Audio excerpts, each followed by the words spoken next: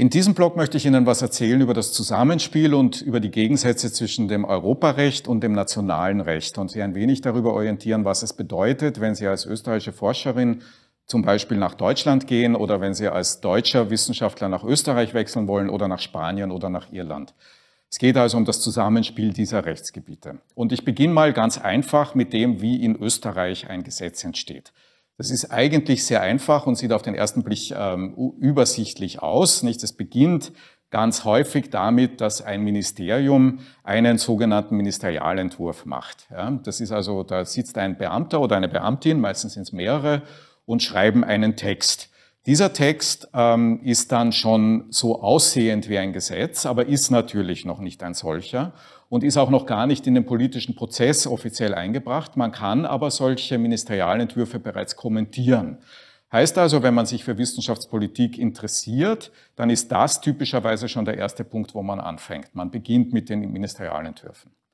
Dann kommt eine große Frage, nämlich die, ob ein solcher Ministerialentwurf eine Stufe überspringt und die lautet, wird daraus eine Regierungsvorlage?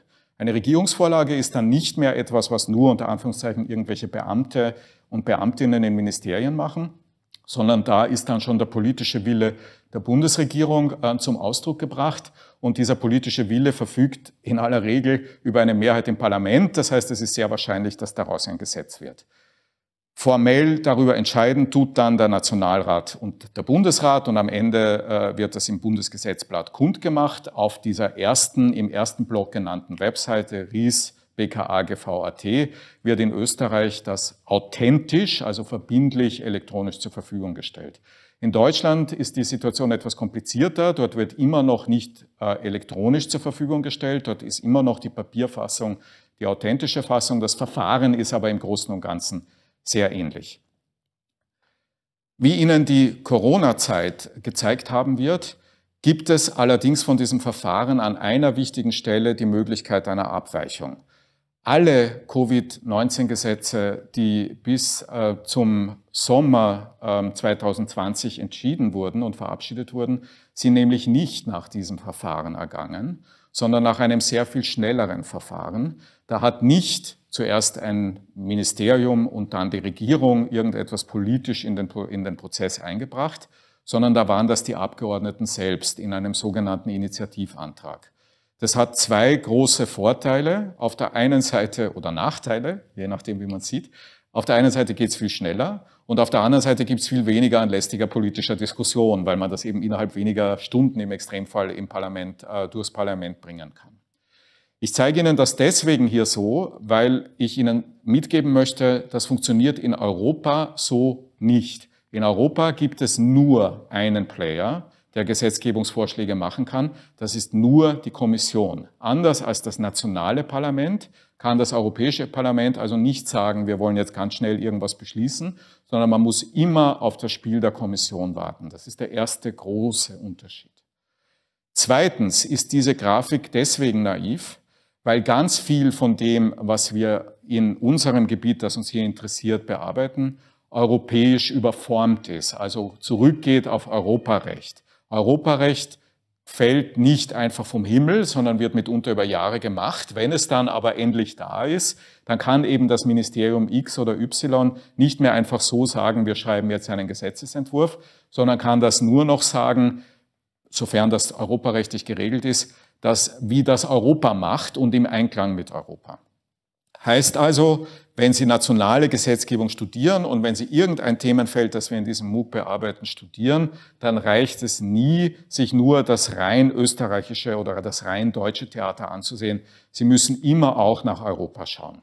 Und in Europa ist das Spiel deutlich komplizierter. Es ist schon deswegen komplizierter, weil wir andere Institutionen haben und weil diese Institutionen anders zusammenspielen als man das in ähm, einem Mitgliedstaat gewohnt ist. Und es ist deswegen komplizierter, weil es mindestens drei relevante Quellen gibt. Es gibt also nicht einfach nur so das Gesetz, ja, so wie im, im nationalen Recht, wobei es im nationalen Recht, wie Sie wissen, auch komplizierter ist. Ich vereinfache das jetzt. Es gibt ähm, Unterschiede in der rechtlichen Qualität dieser europäischen Gesetze nämlich dahingehend, dass es einerseits Richtlinien und andererseits Verordnungen gibt. Das, sind mal die, das ist ganz wichtig, diesen Unterschied zu verstehen.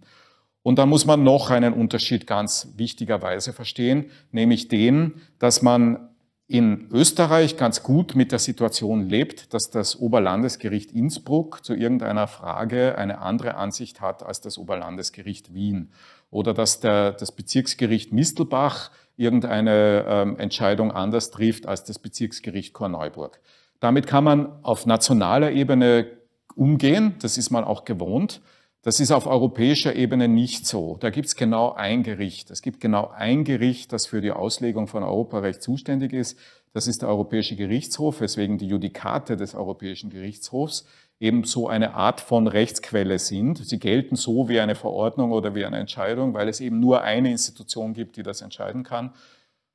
Allerdings immer nur den Einzelfall. Also nicht eben ab heute gilt das Folgende und dann kommt eine generell abstrakte Regelung, sondern im Fall Müller gegen Meyer gilt, dass die, ähm, die Interpretation dieser oder jener Norm so und so auszusehen hat. Die Interpretation von Normen auf Grundlage von Einzelfällen, das ist das Privileg des EuGH, das tut sonst niemand. Die Situation ist also in Europa komplizierter als in, äh, im nationalen Recht, obwohl ähm, das, wenn man möchte, trotzdem auf so eine einfache Folie heruntergebrochen werden kann. Sie sehen also auch hier jetzt drei wichtige Institutionen. Die Kommission macht immer den Vorschlag, dann wird in diesem Vorschlag im Rat, das sind die Vertreter der Regierungen der Mitgliedstaaten, und im Parlament, das sind die Vertreter ähm, der Bürgerinnen und Bürger, ähm, beraten und dann kommt an, am Ende eine, eine Richtlinie oder eine Verordnung raus über die dann irgendwann der EuGH, wenn es entsprechende Interpretationsfragen gibt, auf Grundlage eines sogenannten Vorabentscheidungsverfahrens entscheiden wird. Wenn man sich das im Detail etwas näher ansehen möchte, dann kann man das zum Beispiel tun anhand der sogenannten Urheberrechtsrichtlinie in der Informationsgesellschaft.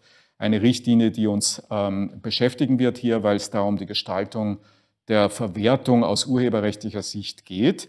Ähm, wenn Sie das auf der zweiten Webseite, die ich Ihnen am Anfang genannt habe, nachvollziehen wollen, dann können Sie dort einerseits relativ schnell sehen, dass, über, dass das Verfahren sehr gut dokumentiert ist und dass das Verfahren zu einer Richtlinie führt, dass ähm, also ähm, über mehrere Jahre lang darüber diskutiert wurde, wie diese Richtlinie aussehen soll. Das, was Sie hier jetzt sehen mit diesen lila Punkten hier, sind jeweils Interventionen des Rats oder Interventionen ähm, des, ähm, der Kommission ganz am Anfang und sonstiger Institutionen bei der Gestaltung dieses Textes. Ja, man kann also relativ gut nachvollziehen, wie dieser Text am Ende ähm, aussieht und warum er so aussieht, wie er aussieht. Am Ende steht, wie gesagt, in diesem Fall eine Richtlinie. Ich werde Ihnen etwas später noch ein anderes Beispiel für eine Verordnung zeigen. Eine Richtlinie, in dem Fall also jetzt des Europäischen Parlaments und des Rates, die beiden Institutionen waren involviert, über das Urheberrecht und die verwandten Schutzrechte im digitalen Binnenmarkt. Eine solche Richtlinie muss jetzt im Mitgliedstaat umgesetzt werden. Da beginnt dann die Ministerialbürokratie, von der ich am Anfang gesprochen habe. Also irgendwie landet das dann in irgendeinem Ministerium und dort arbeitet dann jemand, dem man gesagt hat, setz jetzt diese Richtlinie in nationales Recht um. Im konkreten Fall heißt das, wir stehen davor, dass das österreichische Urheberrechtsgesetz umgeschrieben werden wird, weil diese Richtlinie eben umgesetzt werden muss bis zu einem bestimmten Datum. In diesem Fall bei dieser Richtlinie bis zum Juni 21, in der Zeit, in der wir dieses Video drehen, im Juli 2020, beginnen gerade die Diskussionen, wie diese nationale Umsetzung aussehen soll. Mitgliedstaaten haben hier einen gewissen Umsetzungsspielraum. Sie können ein bisschen nach links oder nach rechts gehen. Da funktioniert dann also die nationale Lobbyarbeit, die man vorher in Europa gesehen hat, noch einmal. Aber der Rahmen steht fest. Wie gesagt, man kann jetzt nicht mehr etwas schreiben, was im Widerspruch zu dieser Richtlinie steht. Adressat einer Richtlinie ist also ein Mitgliedstaat. Bei einer Verordnung, dem zweiten vorher verwendeten Begriff, ist es so, dass da eine Umsetzung nicht erforderlich ist. Das ist unmittelbar geltendes Recht. Da gibt es keine Diskussion mehr bei irgendeinem Ministerium, wie man das umsetzt. Jedermann ist Adressat einer solchen Verordnung. Und hier gilt erst recht der Vorrang des Europarechts. Das prominenteste Beispiel, das ich Ihnen hier mitgebracht habe, ist die Datenschutzgrundverordnung, von der wird auch ziemlich viel hier die Rede sein. Das ist eine Verordnung, das heißt also, das, was da drinnen steht, ist unmittelbar anwendbar. Keine Diskussion, ob man das in Österreich eher links oder eher rechts oder in der Mitte umsetzt. Trotzdem natürlich sehr viel Diskussion darüber, was das bedeutet. Und auch die Datenschutzgrundverordnung hat Interpretationsräume gelassen, die man in nationalen Gesetzen noch hat füllen wollen und füllen müssen. Aber der Block der Verordnung als solcher steht mal fest.